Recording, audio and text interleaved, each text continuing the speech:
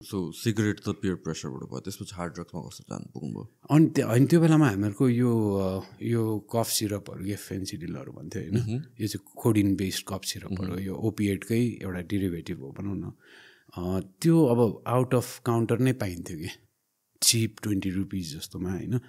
अनि अब के सिगरेट पछि यु गेट एडिक्टेड टु त्यो एउटा हाई त्यो कस्तो भने त्यो गाँजा चाहिँ अब एकचोटि खाएपछि त त्यो बेला यस्तो बत्यो कि होइन त्यो अब फेरि टच गर्नै आँटै आएन नि होइन। त्यो पनि मनोकामना यस्तो अब त्यो बेला चाहिँ त्यस्तै थियो है हामी हिँड्दै ट्रेकिङ जस्तो हुन्थ्यो कि त्यहाँ आबु खैरेनीबाट हिँड्दै मनोकामना जाने चलन थियो स्कुल सकेपछि एसएसजी पछि यसो अलिक फ्री भएर अलिक ठुलो भयो भने चाहिँ सिक्सटिन सेभेन्टिनमा सबै जान्थ्यो अनि त्यहाँ यसो खाने भने ट्राई गर्दा त्यो त एकचोटि ट्राई गरेँ त्यसपछि त फेरि ओकेजनल मात्रै भयो त्यस्तै शिवरात्रिमा फेरि बत्याएछ त्यो एक वर्षसम्म सम्झिने खालको ट्रिप भयो नि त।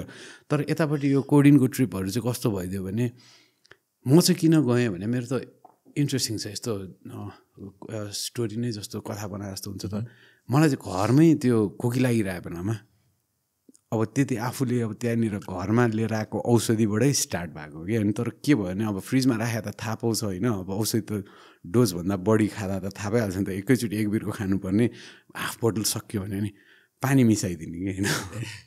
पानी त्यो बेलादेखि अनि चलाक दिमाग पनि हो कि अलिकति खुरापात दिमाग हुन्छ मेरो सुरज दाई भन्ने एकजना साथीले। त्यस्तै खुरापात दिमाग पनि हो। अनि त्यो अब त्यो पानी मिसाएपछि पनि त धेरै डाइल्युट भएर सक्यो। नि लास्टमा चाहिँ फ्रिजकै ढोका बाहिर ठ्याक्क झारिदिएर कि? ला ओके फुट्यो होइन सकियो अब मम्मीले पनि ओके च्याप्टरै क्लोज होइन। थाहै पाएन भने जस्तो। त्यसरी स्टार्ट भयो। तर फेरि त्यसको ट्रिपले गर्दाखेरि चाहिँ के केले यो पनि फेरि केसँग रिलेट भयो भने गाँजा खाएको कुरा पनि आँखाबाट थाहा पाउने रक्सी खायो भने मुखबाट गनाउने। अब अरू के कुरा खाँदाखेरि चाहिँ त्यो दुइटै अभोइड हुन्छ त? अब छल्ने क्रममा गइन्छ नि त्यति बेला त प्यारेन्ट्सलाई आफ्नो वेलनेस यो त्यो कुराहरू सोचिया हुँदैन। कसरी चाहिँ आइएम स्मार्ट इनफ टु होइन? उनीहरूले थाहा नपाउने तरिकाले गरिन्छ भन्दा। अनि यो सेफर पनि भेट्यो कि यसले थाहै नपाउने भयो कि मुख पनि नगनाउने आँखा पनि रातो नहुने भन्ने हिसाब त्यहाँबाट स्टार्ट भयो। अनि यो अरू ट्याब्लेट्सहरू हुन्छ क्या यो यो अ, निन्द्रा लाग्ने आदि इत्यादि उसको लागि हो तर अब मिसयुज हुन्छ भनौँ न अब स्लिपिङ पिल्स अब डाइजिपामहरूदेखि लिएर नाइट्राइजिपामहरू नाइट्रोभेटहरू यिनीहरू भन्छ होइन। यी सबै अब हरेक किसिमका के के अब त्यसले के के को युज हो चाहिँ थाहा छैन तर आफूलाई चाहिँ ट्रिप दिने भयो होइन भनौँ त्यो हिसाबले त्यतातिर गइयो। अनि नाइन्टी फोर त्यो नाइन्टी नाइन्टिजबाट स्टार्ट गरेँ मैले एसएलसीमा नाइन्टीमा दिएको नाइन्टिन नाइन्टीमा अनि नाइन्टी फोर नाइन्टी फाइभसम्ममा आउँदाखेरि चाहिँ यो दुइटै एकदम फेन्सिडल ब्यान्डै भयो। कहीँ नपाउने भयो। अब फार्मेसीमा पाउने यतिकै किन्ने बिस पच्चिस तिस रुपियाँको बेला पुरै बन्द भयो। गभर्मेन्टले एकदम स्ट्रिक्ट पोलिसी लिएर आयो त्यति बेला। अनि त्यसको रियाक्सन मार्केटले कस्तो गरिदियो त भन्दाखेरि फेन्सिडिल भन्दा सानो यत्रो दुई एमएल फेन्सिडिल चाहिँ एक सय पच्चिस एमएलको बोतलमा आउने।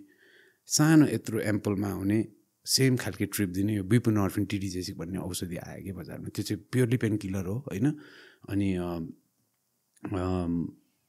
अब त्यो त्यो र त्यसको ट्रिप सिमिलर भएको भएर अनि we shifted to most of us shifted to that होइन? Post ninety four. Ninety five ninety सिक्समा त एचआइभी इन्फेक्टेड भइहाल्यो नि। त्यो चाहिँ इन्जेक्ट गर्ने थियो नि त। Ah okay. अनि गभर्मेन्टले त्यहाँनिर पनि पोलिसी त्यो त्यो डिसिजन गर्दाखेरि निमिट्यान नै पार्छु सकाउँछु नै भन्ने टाइप इजी वे आउट खोज्यो कि। तर भोलि यसले अर्को के लिएर आउँछ त मार्केटमा भन्ने कुरा बुझेन। र अहिले त्यहाँदेखि अहिलेसम्म यसमै अल्झिरहेछौँ हामी नाइन्टी फाइभ नाइन्टी सिक्सदेखि अहिले मेजर कन्ज्युम कन्ज्युम हुने यहाँ हार्ड ड्रगमा त्यही टिडिजेसिक भन्ने हो। अनि त्यसमा अहिले त धेरै कुराहरू थप्यो अरू अरू फार्मास्युटिकल ड्रगहरू गरेर अनि मिक्स गरेर पहिला हामी वान एमएलको सिरिन्ज युज गर्थ्यौँ अहिले त फाइभ एमएल टेन एमएल अनि त्यसको निडल पनि ठुलो हुन्छ होइन? धेरै चाहिन्छ पनि पैसा पनि हामीले गर्दाखेरि पचास रुपियाँमा हुन्थ्यो भने अहिले तिन हजार दुई हजार तिन हजार रुपियाँ पर डे पर पर्सन खर्च हुन्छ। जस्ट टु गेट द्याट अनि अब त्यो नाइन्टी सिक्स नाइन्टी सेभेनमा आई वाज डायग्नोस्ड होइन? So most probably around ninety six होला। मैले चाहिँ अब त्यो त्यो गभर्मेन्टको कडा पोलिसी चलिरहेको थियो कि त्यो पहिला फेन्सिडिल ब्यान गर्यो त्यसपछि सिरिन्जै ब्यान गरिदियो होइन? यहाँ सिरिन्ज एक्सचेन्ज प्रोग्राम नेपालकै पाए एसियाकै पायनियर प्रोग्राम हो। लाल्स भन्ने थियो। त्यो प्रोग्राम ब्यान बन्द गराइदियो होइन? उसले चाहिँ त्यति बेलादेखि नै डर्टी सिरिन्ज युज नगरोस् भनेर भोलिन्टियरहरू पठाएर सफा सिरिन्ज दिन्थ्यो कि डर्टीको सट्टामा। साइड साइडमा जहाँ जहाँ अब हामी बसेर युज गर्छ भन्ने थाहा हुन्छ त्यहाँनिर आएर त्यो एक्सचेन्ज प्रोग्राम गर्थ्यो। त्योहरू पनि टाइट भयो गर्दा नाइन्टी सिक्स नाइन्टी सेभेनमा नाइन्टी सेभेनमा चाहिँ वाज डाय अब त्यसपछि त झन् अब दुई तिन वर्ष भने टु थाउजन्डसम्म बाँच्छ भन्ने हिसाबले अनि फेरि अन एन्ड अफ होइन? युज गर्दै गयो। अनि अराउन्ड टु थाउजन्ड पछि चाहिँ म अलिकति यो कामहरूमा इन्भल्भ भएपछि अलिक कम भयो त्यति रेगुलर युज भएन। पछि फेरि बिचमा आएर फेरि स्टिमुलेन्टको अप्सर भयो क्रिस्टल मेथहरू आदि इत्यादि। नयाँ मार्केटमा नयाँ ड्रग्सहरू भन्दा अब त्यो एउटा उसले अनि बेला बेलामा गयो त्यसरी नै अगाडि बढ्यो होइन। अनि पाँच वर्ष त म रिहाबै बस्यो होला जस्तो लाग्छ कि। टुगेदर एकैचोटि होइन कि कहिले तिन महिना कहिले छ महिना कहिले नौ महिना त्यही भएर पनि के पनि भन्न चाहन्छु नि यो खायो अब यस्तो भयो भनेर कोही घरमा फ्यामिलीमा छ भने अनि एकचोटि रिहाब गयो छोडेन होइन अब यस्तै भयो यो गिभअप गरिदिनु पर्दैन कि इट टेक सम टाइम होइन। पहिला फादर ग्याफ्नी भन्नुहुन्थ्यो हामी हामी चाहिँ रिहाब बस्दाखेरि अनि उहाँले के भन्थ्यो भने यो भाइ यो कपाल काट्न गए जस्तो होइन भन्नुहुन्थ्यो कि। रिहाबमा अब कपाल काट्ने बार्बर सपमा छिरेपछि त स्योर हुन्छ नि फर्केर आउँदा त आफूले भने कपाल त्यति त्यति काट्दै हुन्छ। यो रिहाबमा चाहिँ छिरेपछि स्योर हुँदैन। एक महिनामा पनि निस्किन सक्छ तिन महिनामा निस्किन सक्छ एक वर्षमा पनि छोडेर निस्किन सक्छ छोडेकै निस्केकै भोलिपल्ट खाइदिनु पनि सक्छ। Five years down the line yeah fifteen years down the line खाइदिनु पनि सक्छ।